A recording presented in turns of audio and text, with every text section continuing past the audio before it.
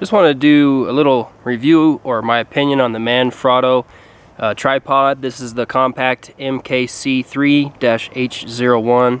Really loving this tripod. Been using it for quite a while. This is the trigger grip one that has a rotating um, friction ball right here um, that you rotate it clockwise and it locks the ball head in place.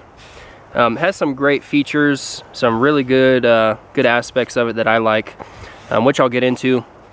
It does have the ability to lock it from video camera mode um, so that you can rotate it this ways and this ways. Um, if you lock that, it only rotates this ways and not side to side, which I really like. Um, kind of gives you some options to go. Um, it's pretty smooth as far as panning. I'll roll some pans in right about now um, of me panning the area here. But it has some pretty smooth panning.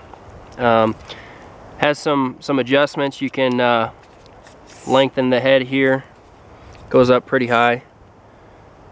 Um, I found this one to be really sturdy. It just locks into place with this bolt right here, this screw. I've used this one for close to a year now and I've really, really liked it. Um, I'll go ahead and let you guys know how tall it extends out to, but you can see that the tripod has one, two, three, four leg extenders.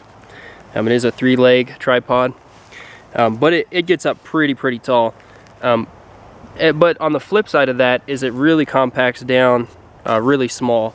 Small enough so that you can fit it into a standard size backpack even. Uh, and that's what I love about this thing uh, so much.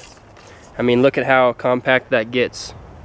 That's about, I mean, if you look at my arm here, an arm's length, um, it gets down really, really small. That's probably my favorite thing about the tripod is just how compact it gets. Um, and you can, uh, like I said, you can even put it in just a standard backpack, uh, which is what I do when I go hiking, camping, backpacking, which is what I'm doing right now. Um, but yeah, I really think that this is a great value. This one I got for about $50 at Best Buy about a year ago. Um, you can find them for cheaper. Um, but again, this is the MKC3-H01.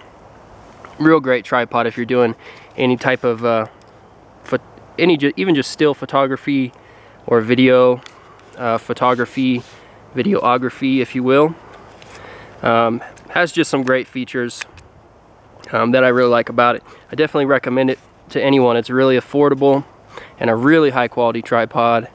Like I said, it's really small, compact, but it still extends um, to be relatively tall. Again, I'll annotate the actual um, height and also the dimensions and the weight. But even though it's such a small, or it compact so small, it's extremely sturdy. This is not by any means a flimsy tripod. I mean, I've put a DSLR on here. Right now I'm filming with a Canon SX uh, 230 HS, um, but I've used the Canon T2i, uh, several different cameras um, that are heavier and it's worked really well with them. So anyways, this is the Manfrotto Compact MKC3-H01. Great tripod. And um, why not just leave you guys with some panning shots of these piney forests that I'm in. And once again, check out this tripod if you're looking for a, a new tripod. Thanks for watching. Peace.